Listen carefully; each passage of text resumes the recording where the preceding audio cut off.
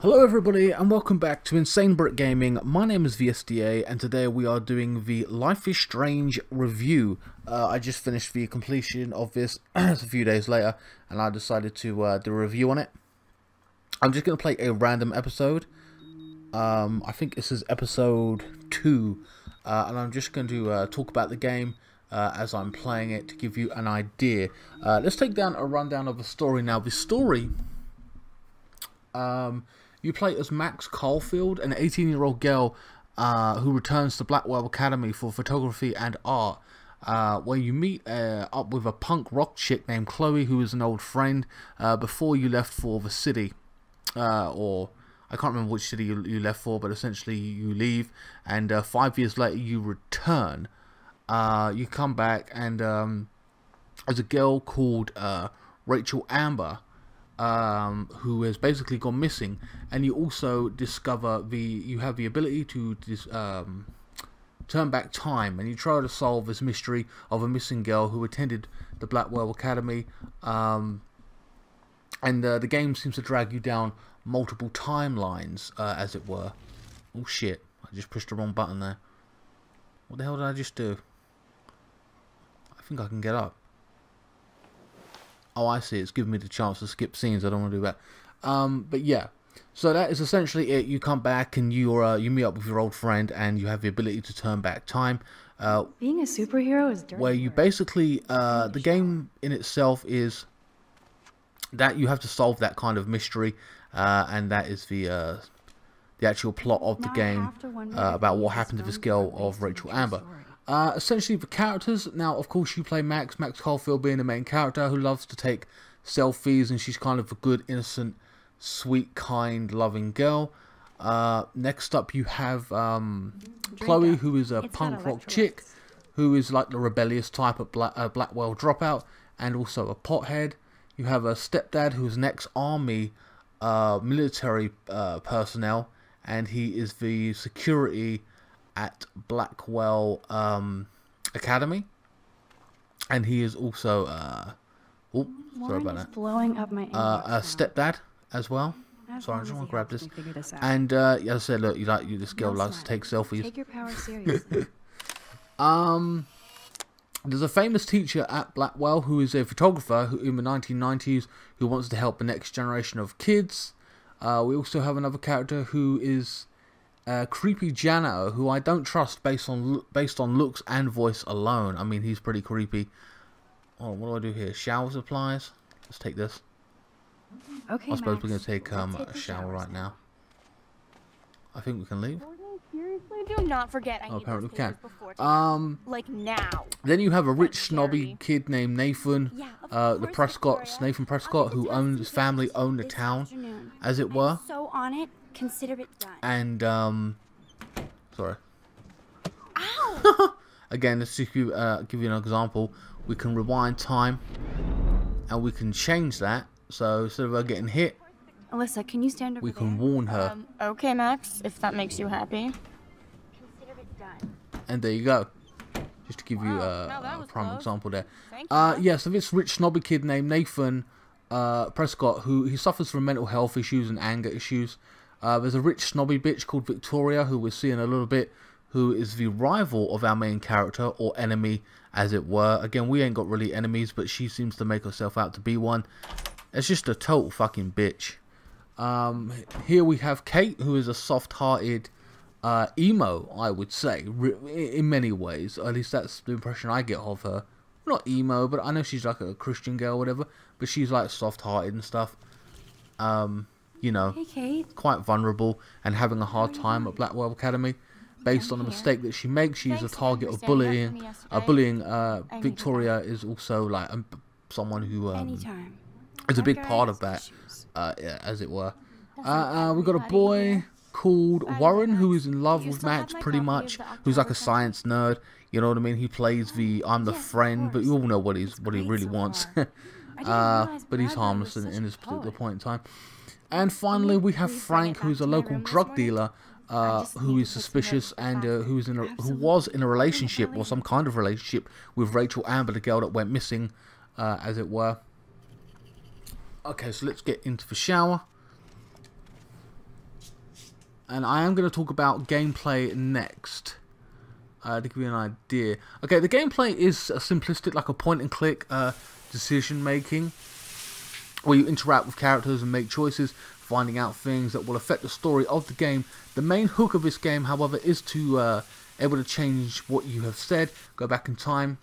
I find, uh, unlike most other games, though, that changes you make are simple. It makes you think it gives you a choice. What's the outcome is not that big. In fact, Cool. uh, it makes you go down a hallway instead of going down a pathway you video of you choose. It guides you to what it wants you to do, uh, taking away your real choice. In fact, making your choices not Oh matter that much that much at all. Don't be shy. In fact, only two big choices I can think of affect anything. Video. That's the life and death of one or two people, or but it feels that they want you to do certain things uh, sure she had fun. as well. Looks like it. I know. Uh, at the ending, there's only know he has the one of two endings that you can have. That's right. You only have two endings on a game based on choice. That's at the he thought she end, and there are no multiple outcomes. It's just like pick A and B, and I find that kind of That was so disappointing cool. She's about a game with multiple choices and stuff like that, where you're supposed to affect the game. There's only A and B, and then even then you pick them at the Max is a joke. end of the game. You know what I mean? And that kind of sucks. I feel disappointed by that in a game that is based on choice, where you know there's supposed to be these outcomes and it don't really affect it because at the end of the day weirdo with that you're you're, you're gonna pick A or B. That kind of sucks. I hate that. Uh, I'm there are so games that do it better, which I will get into later. The graphics are okay and decent. They're well done. chance to No, see they're not her The Last of. Us or Far Cry Primal, but they, that don't matter. It holds up, and I find it perfectly fine. So for me, there's no complaints there. Actors are great. I feel that the voice actresses who played the parts played their parts really well, and every character seems to fit in perfectly well with their uh, character that they've been portrayed as. You know what I mean? I don't see them as anything else. No one doesn't really not fit, at least in my book. Uh, at least that's just my opinion. Um, the music is fantastic. I could not record the um the music in the game due to copyright issues, but that is that will not affect the score of this review anyway. Uh, it sets the mood. Um, and it's a big part of the game, and it really brings the emotion and depth into a into a game, and um, it can really it, it plays a big part. I mean, if you play loads of games like I do, you know that music in itself can uh, really set the tone and uh, really give you uh, a connection to the actual game or you know what the character is feeling at this particular uh, point in time in the story or what have you. Wait, can I go in there? Yes. Okay, so that's the music. Um, overall, now I'm gonna go down the pros and cons of this game. Oh shit, our room got wrecked. No fucking. Uh, for me, okay, so the pros of this game, it's a good game with a decent story. The acting is good. It's got replayability after as well. You can replay this game as well and go get the trophies and various stuff like that. I feel that you are gonna uh, hold on, search. And You are you um are gonna go and get uh, all the way through the game, get some trophies. It is an easy platinum. Uh, that is another pro of this game, at least in my opinion. I put that in there.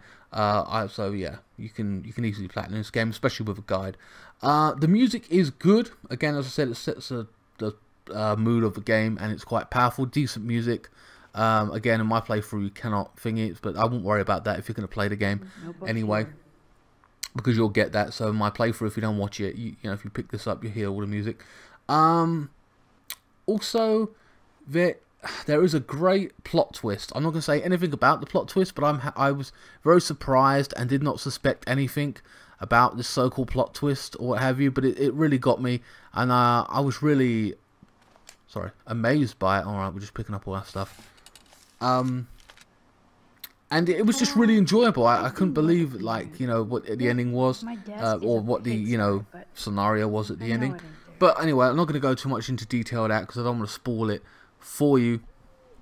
I'll let you sit there and play it. Um, shit, what the hell am I doing? My desk is a pigsty, but Sorry. I know it ain't there. I've got to look for Kate's paper. Hold on, her book. Oh shit! She just spilled soda on Kate's book.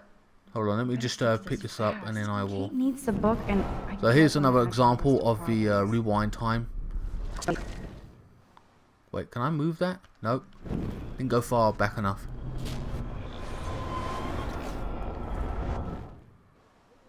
Right, now move it. Be okay.